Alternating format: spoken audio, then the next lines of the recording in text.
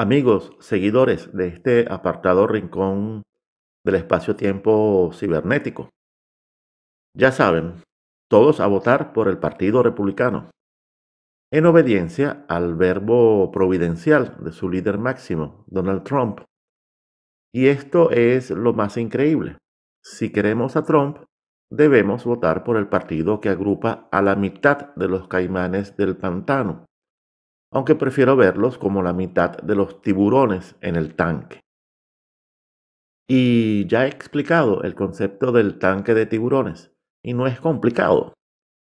Eh, cuando el poder de las élites, las élites superiores, alcanza el grado de dominio total, cuando tienes todo bajo control, puedes otorgar eh, libertad de rebatiña, trifulca y canibalismo en el nivel intermedio, el nivel visible, donde está el poder político, los políticos, los partidos y todo tipo de mafias. Ellos dejan que los tiburones luchen libremente entre sí, y esta lucha debe ser real. Primero porque debe ser creíble ante los ojos de la masa, las eh, subélites y los formadores de opinión.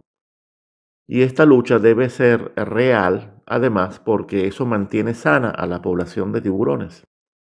Porque deben vencer, deben vencer eh, siempre los más fuertes, los más aptos, los más codiciosos, los más inmorales, los más hipócritas. Y esto forma parte de la esencia darwinista del poder en el imperio liberal angloamericano.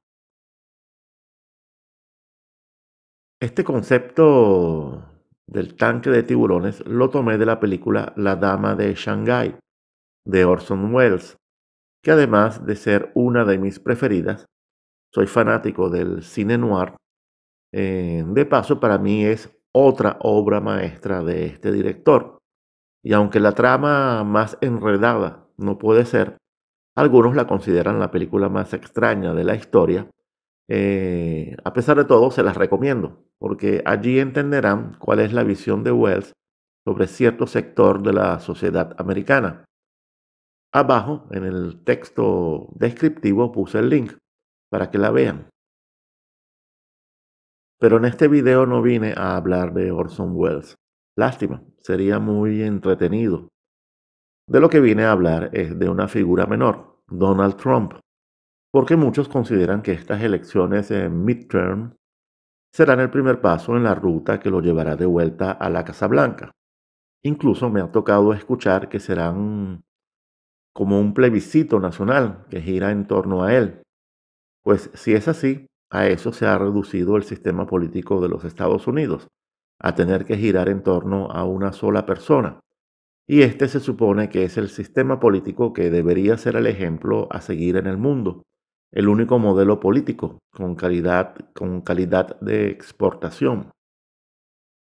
Por cierto, les quedaré debiendo una explicación real, más elaborada, que va más allá del personaje, la fachada, el agregado, porque lo que está sobre el tapete no es si Trump volverá o no.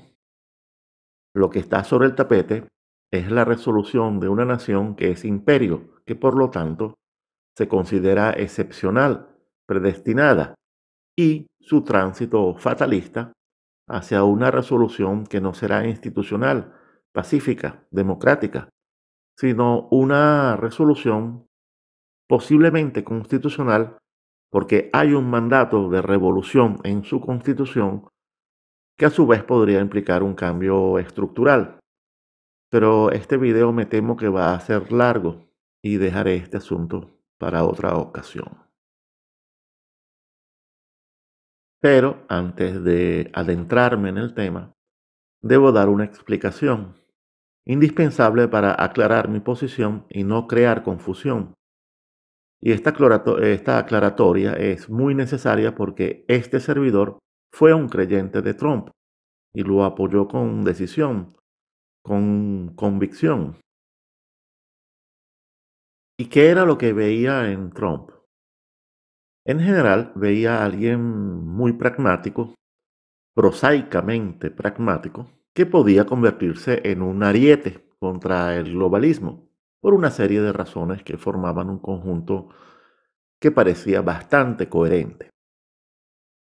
Primero, Trump parecía representar el perfecto opuesto a Hillary Clinton y todo lo que ella representa, y eso para mí era más que suficiente, lo cual fue un craso error. Segundo, mm, su discurso justamente crítico contra el complejo industrial militar y en general contra el Deep State, lo que él llama el pantano, y el sistema de medios de comunicación mainstream. Tercero, su objeción permanente en contra de los Estados Unidos como policía del mundo y por lo tanto en contra de las guerras eh, sin fin. En especial fue muy contundente en su crítica contra la invasión a Irak, coherencia que mantuvo al no haber comenzado ninguna guerra, aunque, a decir verdad, tampoco terminó ninguna. Cuarto, su intención de reindustrializar a los Estados Unidos, quitándole peso a la economía financiera a favor de la economía real. Por lo tanto, se, planteaba un rescate de la clase trabajadora y de la dialéctica que eso conlleva. Y eso era algo muy positivo, que debía ser apoyado. En determinado momento pensé que Trump hasta podía significar una ruptura histórica, de hecho, estuve esperando la llegada del Trump 2.0. En cambio, lo que me tocó presenciar fue su reducción a un Trump 0.5. O sea, reducido a timonel más o menos diestro, más o menos tolerado del portaaviones republicano. Ese en el cual aterrizó bruscamente y sin pedir permiso hace seis años. Al final, y, más allá de sus proclamas y anuncios, Trump no logró nada sustancial, algo que de todos modos confirma la inutilidad del cargo presidencial, y yo hasta me habría contentado con esta excusa. De hecho, me esperaba que un Trump finalmente liberado de la presidencia se hubiese puesto a hacer eh, cosas, eh, cosas realmente importantes, eso lo traté en dos videos que pueden ir a ver, eh, cuyo link puse abajo en el texto descriptivo. En cambio, otra vez no pasó nada y Donald Trump, en vez de transversalizar su capital político en un movimiento de masas que podía incluir al Partido Republicano o a la parte del partido que se podía salvar, eh, pero englobándolo dentro de una plataforma más amplia, una que debía trabajar eh, la, superación, la superación de ciertas dicotomías de clase media y trabajadora, de izquierda y derecha, de América urbana, suburbana y rural, de Rust Belt contra Silicon Valley, etc. En cambio, eh, se puso a jugar o le está haciendo el juego a una polarización meramente electoralista, que por lo tanto es una polarización cerrada dentro del sistema, una polarización cómplice que, lo que hace es realimentar a la estrategia del caos en acto desde la presidencia de Obama. Estrategia que consiste en implantar toda una serie de falsas dialécticas que han terminado por infectar envenenar eh, conflictos latentes, represados, que son reales y que nunca han sido resueltos sino que fueron anestesiados por el desarrollo de la sociedad de consumo y que siguen estando pendientes de una verdadera resolución desde el siglo pasado. Pero Trump se quedó en el aparato y sin generar organicidad alguna fuera del sistema, por lo menos una cuya consistencia supere la mera condición circunstancial, táctica. En otras palabras, no se salió nunca del loop electoral o mejor dicho, terminó creando algo así como un loop post-electoral, inercial, que es permanente, que tiene algo que se parece al peronismo. No a Perón, al peronismo. Aunque, aunque por lo menos el peronismo sí se transversalizó de derecha a izquierda. Y en ese momento fue cuando dije basta aún sabiendo muy bien que nadie es perfecto, ni mucho menos un político. Y fue allí cuando comencé a armar mi expediente, porque de todos modos se habían acumulado dudas, dudas a las cuales le había opuesto mi beneficio de la duda en cada oportunidad, pero ya no podía seguir. ¿Y cuáles son los elementos que constituyen este expediente? No lo voy a presentar todo, pero sí lo que considero más importante. Y comencemos por lo viral, y no hablo en sentido figurado. Pero antes, un aviso. Las fuentes de todo lo que voy a decir están en los links que puse abajo, en el texto descriptivo. Bueno, comencemos. 1. La administración Trump, en diciembre de 2017, volvió a permitir la experimentación sobre potenciación de virus en suelo nacional, eso que llaman gain of function, algo que había sido prohibido en la administración anterior, la de Obama. 2. Cuando Trump en, junio de 2020 retiró el financiamiento a la Organización Mundial de la Salud, esos fondos fueron reencausados nada más y nada menos que hacia la Alianza Global para las Vacunas y la Inmunización, mejor conocida como Gavi, organización que cuenta entre sus principales fundadores y sostenedores a la Bill and Melinda Gates Foundation. 3. Casi al mismo tiempo, eh, Trump lanza la operación Warp Speed, que es la que realmente acelera el desarrollo, la fabricación y la distribución de vacunas eh, COVID-19 a gran escala en los Estados Unidos. 4. Cuando en octubre de ese año Trump eh, se enferma de COVID y, sana y se recupera en tiempo récord gracias a curas que él describe como extraordinarias, curas que promete llevar a la población, eh, a pesar de esta fabulosa experiencia sanadora, eh, en este caso no hubo operación Speed para hacer, para hacer llegar esas curas a la población en forma masiva. 5. Trump, al fin y al cabo, en ningún momento se opone a Anthony Fauci, salvo el ponerle carotas teatrales, de gruñido, pero sin llegar a ladrar. Pero donde sí se puso a ladrar y con fuerza fue al insistir en que el virus es chino, lo que en términos prácticos fue un encubrimiento que al final a, quien más protegió fue, fue al mismo Fauci. Y esto es así porque los ladridos de Trump contra China impidieron que se pudiese establecer un marco no politizado para una verdadera investigación sobre la historia del virus por encima de las partes, con colaboración de todas las partes. Sé que en esto fantaseo en forma candorosa, pero esto no le quita validez a la afirmación de que este comportamiento de Trump siempre nos alejó de una verdad que ya se sabe, y es que la paternidad del virus no es solamente China, y es un asunto donde Fauci es un actor clave. Bueno, este es el expediente viral, pero no es todo.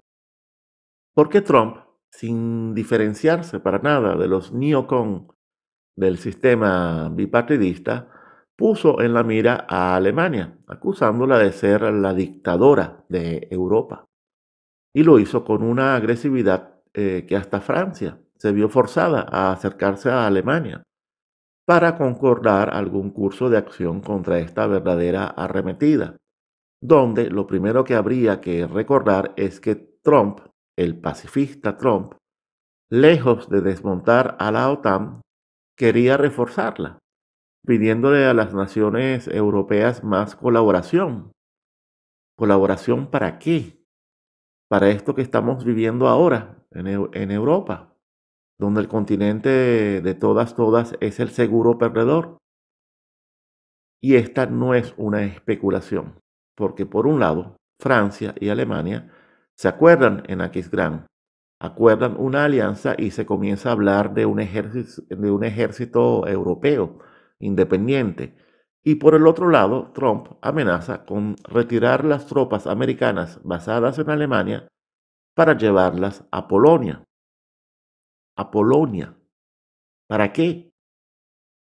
Y esto no se queda aquí, porque Trump, antes que Joe Biden, fue un férreo opositor a los gasoductos rusos que llegan a Alemania, que son una base fundamental de la competitividad de Alemania y de Europa en el mercado global. Incluso se lanzó la difamación extrema de decir que los gasoductos convirtieron a Alemania en rehén de Rusia.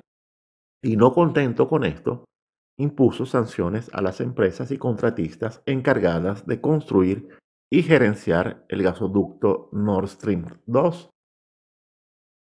Señores, el divorcio fue hasta tal punto que hay declaraciones precisas de Angela Merkel, que ya expuse en un video, donde describo toda esta situación y muy importante, demuestro que esta arremetida de Trump es la continuidad de una política que comenzó Barack Obama y que Trump no solo la continuó, sino que la profundizó. Y esta continuidad indica que se trata de una política de Estado, de Estado profundo, que no es solo contra Alemania, es contra Europa, y que todos los presidentes deben acatar y cumplir. Y eso fue lo que hizo Trump, el que se supone que iba a secar el pantano. Vayan a mi video titulado Una Alemania post-atlántica, la gran ruptura nórdica en el nuevo orden mundial. Abajo puse el link. Y es importante que lo vean. ¿Por qué? Porque, ¿qué es lo que estamos viviendo hoy en día en Europa? No solo en Alemania. En esta guerra donde la perdedora segura va a ser Europa. Y aquí el ejercicio de unir y alinear los puntos, Obama, Trump, Biden, es muy fácil. Y aquí no sigo porque justamente debería comentar la polémica circense de mucho ruido y pocas nueces de Trump contra los Biden, contra Obama y contra la Clinton y el supuesto Obamagate y bla, bla, bla. De paso, está lo de Trump apoyando a esa completa farsa, a ese disfraz que es el arzobispo Vigano, un fundamentalista eh, sede vacantista ese sí, ultraderechista, enemigo jurado de Joseph Ratzinger, que lo que quiere es terminar de implantar una falsa dialéctica en la Iglesia Católica para completar una operación de gatekeeping, pero espiritual, una operación de gobernar los opuestos para terminar de redondear la Matrix en el mundo católico. Esta es una historia larga, larguísima, que se la dejaré a Aura Palermo para cuando vuelva. Y para rematar, ¿qué fue lo que pasó con Trump y su plan con respecto a las obras de infraestructura? No se decía que iba a reactivar e impulsar con fuerza la industria de la construcción, tan relacionada con su pasado empresarial. Y es que tan solo con ese plan, muy necesario en los Estados Unidos, eh, Trump hubiese pasado a la historia. Y es que al fin y al cabo, ¿qué fue lo que hizo Trump? El muro. Solo eso. Bueno, ya me desahogué. Ahora sigo. Porque de todos modos quiero conectarme con un asunto relacionado con estas elecciones en midterm, donde se supone que el Partido Republicano podría hacerse con el control del Congreso seguramente en la Cámara de Representantes y posiblemente en el Senado. Y aquí algunos analistas y muchos banalistas afirman que esto podría representar un cambio en la política exterior de los Estados Unidos con respecto al conflicto en Ucrania e incluso con respecto a Rusia. Hasta se habla de que esto podría llevar a negociaciones para un cese de la guerra. Señores, cuando yo los invito a unir los puntos con respecto a la política de los Estados Unidos contra Alemania y contra Rusia, puntos donde en Obama, en Trump y en Biden se detecta una continuidad, una continuidad factual, es para que adquieran conciencia de que existe una determinación imperial suprema que solo puede tener una variación con respecto al tiempo, el ritmo, los actores y los modos, pero no con respecto a los objetivos finales. Las tácticas pueden variar, la estrategia no. Y aquí es donde se puede insertar el tema de los matices. De los matices eh, que caracterizan a cada administración en los Estados Unidos, en virtud también de esa eterna lucha en el tanque de tiburones, la cual debe ser real, como ya dije, porque debe cumplir una función de selección natural del más fuerte, del más apto, como ejecutor político en el nivel intermedio de las determinaciones estratégicas en el nivel superior, el nivel donde reside el poder real. Y les doy la noticia que la estrategia, palabra que siempre suena muy importante, la estrategia puede ser simple, reducible a objetivos básicos, vitales. En cambio, las tácticas, lo complicado siempre son las tácticas. Una estrategia puede ser tan simple como complicadas son las tácticas para llevarla a cabo complicadas de captar, descifrar y entender. ¿Por qué? Porque pueden ser torcidas, retorcidas, y deben ser así porque el arte de la guerra así lo exige. Pero la determinación del imperio no cambiará. Y en el caso de republicanos y demócratas, eh, los siameses del sistema, solo cambia el matiz con respecto a Rusia y Ucrania y no cambia el acento en China. Pero los objetivos, eh, Europa, Rusia, China, esos no van a cambiar, porque se trata de preservar el imperio, eliminar los enemigos y hacerlo de forma provechosa, aplicando el negocio redondo de la guerra, donde se gana dinero con la destrucción y se gana dinero, mucho más dinero, con la reconstrucción, que de paso es el proceso que sienta las bases estructurales de la hegemonía y la dominación. La gente me pregunta, pero ¿por qué destruir a Europa, a Alemania? ¿Qué sentido tiene? Bueno, aquí lo fundamental es captar, tomar conciencia de que la destrucción y la reconstrucción son etapas de una única secuencia indispensable para estructurar o reestructurar al poder, para reciclarlo, para resetearlo. Reset, gran reset. Y sí, hay mucho, mucho dinero en el proceso, pero no, es el dinero el objetivo, tampoco la riqueza ni su acumulación o concentración, porque esos son subproductos derivados secundarios materiales de algo más importante, que es el poder absoluto, el dominio, el arriba mandando sobre todo lo que queda abajo, en forma panóptica, sin escapatoria posible. Cuando logras eso, dinero y riqueza, eso viene como un producto inevitable. Y aquí habría que irse también a otro nivel, a otro plano de la existencia donde queda claro por qué Rusia, que no es solo Heartland, sino Tercera Roma, debe ser destruida. Eh, por qué Alemania, Rinland junto a China, la nación fatalmente central, la otra nación del otro Mediterráneo, hay que arrodillarla. De por qué le están haciendo lo que le hacen a Italia, la del, la del Mediterráneo Sur, que es un ombligo, un hub ella también con un desarrollo vertical trascendente. Estamos hablando de tres naciones eh, civilización, tres centros de energía que deben entrar en la desolación del logos. Pero eso no lo trataré por los momentos. Se deben explicar muchas cosas antes. Bueno, volvamos a los asuntos de la capa de polvo en las comarcas eh, sublunares. Hay gente que dice que los republicanos estarían dispuestos a negociar con Rusia, como seguramente lo haría Trump. Y eso está por verse, porque no todos los republicanos son trumpistas. No se trata de ninguna manera de un partido monolíticamente gravitante en torno a Trump. En lo electoral, por conveniencia, puede ser, pero en política exterior habría que ver.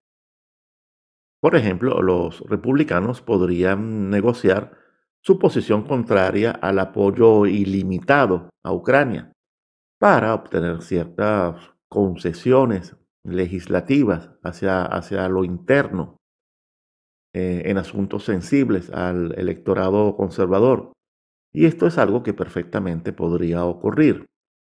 Pero en esto de la política exterior y sus posibles líneas tácticas, no se puede perder de vista la cuestión de los matices, que es el grado de, libertad que se le otorga a, políticos, que no, a políticos que no son políticos, son tiburones del tanque. Pero en todo caso, ¿qué significa lo que haría Trump? ¿Es que acaso Trump puede ser tomado como referencia en cuanto a lo que debería ser una política exterior hacia Rusia? Existe una doctrina Trump en relaciones exteriores, salvo la de ladrar de entrada para medir el miedo en sus competidores. A ver, Analicemos lo que fue Trump en su relación con Rusia para refrescar memorias. Trump, por un lado, se desmarcó netamente de la rusofobia radical que caracteriza a cierto sector importante del atlantismo, tanto en Estados Unidos como en Inglaterra, el cual siempre decae en la demonización pura y dura de Rusia. Eso es cierto. Y ese es un matiz objetivo que siempre sirvió de base a los demócratas para su acusación muy tonta, muy infantil, de que Trump era un instrumento de Rusia. Pero por otro lado, y en los hechos y en la práctica, Trump fue muy duro con Rusia y no se dio en nada. Y más bien terminó por deteriorar el, el marco de las relaciones hasta llevarlas al punto más bajo, que es el punto de la imprevisibilidad, tanto por parte americana como rusa, sobre todo en la diplomacia rusa, que es muy metódica y aplica siempre el principio de mejor malo conocido que bueno por conocer. Y hay puntos precisos que demuestran esto. Por ejemplo, Trump, lejos de levantar las sanciones contra Rusia impuestas por Obama, más bien las aumentó. Fíjense que aquí se presenta otra continuidad de Trump con respecto a Obama. Y es risible que algo tan macroscópico pase por debajo de la mesa. Pero bueno, ese es el oficio de los banalistas. 2. Y esto sí es verdad que no es que pasó por debajo de la mesa, lo barrieron debajo de una alfombra. Y es que en Siria, en 2017, comenzando la presidencia Trump, hubo un ataque misilístico de los Estados Unidos contra la base aérea de Shairat, donde operaba Rusia, algo que realmente estuvo a punto de crear una situación gravísima. Y si hubo una guerra que estuvo a punto de comenzar Trump, fue esa. 3. Trump atacó y boicoteó el gasoducto Nord Stream de todas las formas posibles, con presión mediática y diplomática constante. Como ya dije, sancionó a todos los contratistas de ese gasoducto y no contento con este despliegue agresivo, hasta le negó a la ExxonMobil seguir sus operaciones en Rusia. Y finalmente, y muy importante a los efectos de lo que podría desarrollarse como una opción catastrófica si el conflicto en Ucrania no cede y más bien se agrava, está el acuerdo Reagan-Gorbachev eh, sobre armamento nuclear, que fue cancelado por Trump, haciendo suya una acusación que ya había hecho Obama, denunciando a Rusia por incumplimiento, otra muestra de clara continuidad. Estamos hablando de la cancelación por parte de la administración Trump del Tratado INF de 1987, que fue algo más que un símbolo de los acuerdos entre Reagan y Gorbachev, porque ese tratado realmente fue un paso concreto, sólido, hacia la superación de la Guerra Fría y de las doctrinas estratégicas basadas en el, en el armamentismo nuclear. Y fue un tratado que fue saludado y celebrado como el comienzo de una nueva era de paz y seguridad eh, perdurable entre las potencias, sobre todo en lo que concierne al área europea, porque ese tratado eliminaba los misiles balísticos intermedios, con un alcance comprendido entre los 500 y los 5.500 kilómetros, precisamente los misiles que representan una amenaza para Europa, pero no para los Estados Unidos. Pero qué casualidad tan casual. Subrayen esto.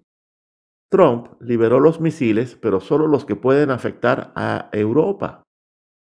¡Qué maravilla! Menos mal que Trump fue un pacifista. Claro, a expensas de Europa. Y a expensas de Europa fue todo lo que comenzó a hacer Obama y todo lo que está haciendo a ritmo acelerado Joe Biden. Pero no se les ocurra unir los puntos. Confíen, nunca hubo continuidad. Y para concluir, aterricemos en la relación de Trump con Ucrania, lo que nos debe llevar a un muy curioso episodio. Eh, ¿Recuerdan la famosa llamada de Trump a Zelensky solicitando una investigación en Ucrania contra Joe Biden? esa llamada donde le comentaba a Zelensky que Biden se jactaba de haber detenido la investigación contra su hijo. Eh, esa llamada fue todo un escándalo que amenazó con acelerar el impeachment contra Trump. ¿Lo recuerdan? Y Zelensky, ¿qué respondió? Pero más allá de lo que le respondió a Trump, ¿qué le iba a responder? Más allá de eso, Zelensky, eh, Zelensky hizo algo al respecto. ¿Alguien sabe si Zelensky hizo algo al respecto? A ver, esa no será la razón por la cual Zelensky pide y pide y pide dinero y armas y más dinero eh, a Biden sin parar. Eso no será un chantaje. O, o esa es la razón por la cual no han podido sacar a Zelensky como tanto se rumora. Aunque aquí la razón principal, la razón obvia, es que Zelensky se ha convertido en un ídolo de los periodistas occidentales. Por lo tanto, la masa y las subélites y las servoélites que viven bajo el influjo de la narración mainstream también lo adoran, lo veneran como si fuese un mesías. Y deshacer eso no es tan fácil a no ser que ocurra algo accidental, algo imprevisto, algo que incluso pueda ser usado para santificarlo a posteriori, después de haberlo despachado o después de haberlo enfriado, para usar una palabra más acorde con el entorno 100% mafioso que rodea tanto a Zelensky como a Biden. Bien. ¿Cuál es el punto sobre la situación? La meta de los Estados Unidos con respecto a la guerra en Ucrania no es derrotar a Rusia por los momentos, sino provocar exactamente la situación actual. Y el primer objetivo era someter a Europa, con particular énfasis en Alemania. Someter a Europa, eh, separarla de Rusia y hacerla menos competitiva y hacerla más dependiente de los Estados Unidos para encaminarla definitivamente hacia el gran reset, eh, la destrucción, construcción creativa del imperio angloamericano, promotor de guerras desde que fue creado. Y una vez más, lo voy a machacar, esto obedece a una lógica precisa. Se crean las amenazas, los, los enemigos, se aplica estrategia del caos y, también de la tensión, se lleva a los países desechables a la guerra o a la ruina. Eh, todos los países son desechables menos Inglaterra y Estados Unidos. Esos países quedan arrasados, mm, llegan los salvadores, son aclamados, después llegan los inversionistas y con ellos llega el dinero y la maquinaria cultural. Y el sistema es reconstruido para implantar un dominio sin rivales con verdaderas concentraciones de poder inamovible y esto funcionó para toda Europa y fue lo que ocurrió con el caos promovido antes de la Segunda Guerra Mundial y el orden internacional resultante después de esa guerra. Señores, esta es una fórmula de destrucción creativa tan querida por los liberales que siempre nos dicen que toda crisis es una oportunidad, los cuales en muchos casos terminan de buena fe, ingenuamente, por levantarle una fachada decente a la verdadera industria yanqui, que es la industria de la guerra, donde tecnología e innovación son hijas de lo militar, o sea, del gasto público. Y lo militar no pierde su naturaleza al desembocar en el mundo civil, porque algo, algo como las tecnologías de la información pueden y de hecho son usadas como armas, comenzando con la Internet, que nació como red militar. ¿Y quién dice que ha dejado de serlo? Eh, las operaciones psicológicas, el lavado de la realidad, el levantamiento de la Matrix. ¿Acaso la guerra cognitiva no es guerra? ¿Y cuál es su teatro de operaciones? Bueno, volviendo a los objetivos de la guerra en Ucrania, hay un objetivo principal alcanzable en poco tiempo, eh, porque ya había sido ablandado, que es Europa, y un objetivo que ahora es que debe ser ablandado, que es Rusia. Y con respecto a Rusia, es un hecho que se vio obligada a la intervención militar. Y con esto se buscaba activar una dinámica desestabilizante para el gobierno de Vladimir Putin. Y este plan tenía su basamento. ¿Por qué? Porque la movilización militar implicaba una alteración profunda en la normalidad de una sociedad en donde en cada familia hay un antepasado que murió en la Segunda Guerra Mundial. De hecho, Putin tuvo que administrar con mucho cuidado la intensidad de la guerra antes de poder llegar al anuncio de movilización. De hecho, no lo hizo hasta que fuese la misma opinión pública la que pidiera un mayor empeño. También se buscó empantanar a Rusia en una guerra de duración e intensidad impredecible, que a una costa de la supervivencia de Ucrania obligase a un desgaste constante y debilitante, sobre todo si la guerra se llegase a transformar en una guerra asimétrica, con los ucranianos transformados de guerreros en terroristas, desde luego previamente entrenados para esta transición. Y esta transición ya comenzó. Y a eso se debe el uso constante de la definición acto terrorista en los comunicados de Moscú. Ellos ya están anticipando lo que vendrá. Y esta transición es una transición de metástasis con armas occidentales que se cuelan del conflicto en Ucrania a células terroristas ubicadas en, Europa, los Balcanes, el Cáucaso, Asia Central, en otras palabras, eh, se trata de transformar a Ucrania en un centro de irradiación funcional a la estrategia de la tensión, pero a escala global.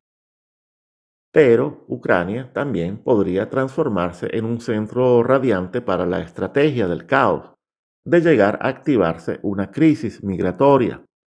Y esa está a punto de comenzar. De hecho, el resultado de cualquier ofensiva que podría darse en otoño o en invierno, sea por parte de Ucrania o de Rusia, podría resultar en una oleada migratoria. Así que sumen todos esos factores y, entenderán por qué hablo de un conflicto que solo formalmente podría interrumpirse como conflicto bélico en un tratado de paz, para mutar hacia un conflicto asimétrico, terrorista, que se extendería más allá de las fronteras de Ucrania, y esta posiblemente sea la verdadera intención, la intención original, inmutada, detrás de esta guerra, por ahora convencional. Por lo tanto, una negociación de paz sí podría detener la guerra convencional, pero no la otra. Se acaba una táctica y se pasa a otra, pero el objetivo estratégico sigue inmutable hasta que realmente desemboque en un conflicto global. Y por allí va la cosa de obligar al demonizado Putin a voltear en su comercio hacia China, para, después poder demonizar definitivamente a China. Y China no se podrá sustraer a eso, aunque guarde las formas, e incluso alimente rumores de un divorcio entre Putin y Xi Jinping para atenuar la, percepción. Y hay que ver cuántos banalistas caen en esto. ¿Acaso China no sabrá cómo jugar el arte de la guerra?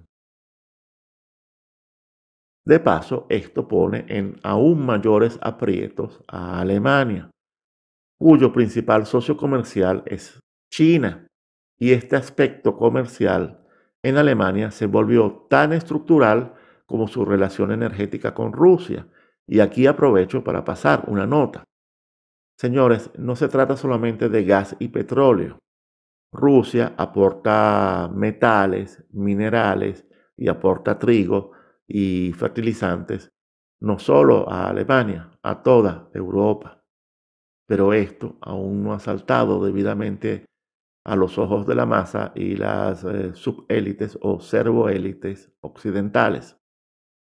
Por lo tanto, las posibilidades de una negociación en la guerra de Ucrania que pudiese llevar a un acuerdo de paz esto no puede ser eh, descartado.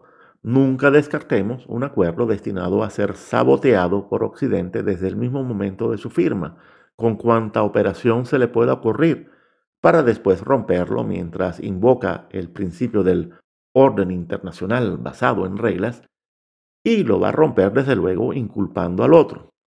De hecho, en el caso de este posible acuerdo, eh, se me ocurre una comparación histórica que viene al caso. Porque, señores, la historia sí se repite, es cíclica, le guste o no a los historiadores modernos, científicos. A ver, la posibilidad de que se logre un acuerdo entre Estados Unidos y Rusia, eh, yo la veo como una especie de pacto germano-soviético revivido en clave actualizada. En el pacto de 1939, los firmantes tenían una necesidad. ¿Cuál era la necesidad de los nazis? La de poder priorizar el frente occidental europeo. Y los soviéticos necesitaban ganar tiempo para preparar su enorme país para la guerra, aun sabiendo perfectamente que los nazis tarde o temprano romperían el acuerdo y se voltearían contra ellos. Y esto lo sabían los rusos cuando firmaron, porque conocían la verdadera genética del nazismo, su origen profundo, primordial. Algún día les comentaré sobre esto. Por lo tanto, y volviendo a la actualidad, un acuerdo muy provisional, que todos saben destinado a ser roto, que le permitiese a los Estados Unidos concentrarse en China y a Rusia reforzar su maquinaria bélica y profundizar la movilización, con los mismos Estados Unidos aprovechando para terminar de liquidar a Alemania, esto podría darse. Los Estados Unidos no le temen a Rusia como rival hegemónico, la consideran una gasolinera y poco más. Desean destruirla, pero eso puede esperar y además estiman que Rusia sería separable, divorciable de China, aplicando ciertas concesiones. Pero cuidado, esto no implicaría que en el fondo haya un acuerdo subterráneo, como no lo hubo en 1939 entre nazis y soviéticos, porque el que estaba al frente de la Unión Soviética no era ni Lenin ni Trotsky, era Stalin, de la misma manera como el que está al frente hoy en día de Rusia no es Gorbachev ni Yeltsin, es Putin. De paso, el acuerdo permitiría a los republicanos y especialmente a Trump exhibirse como un príncipe de la paz, alguien que evita la guerra mundial, un héroe.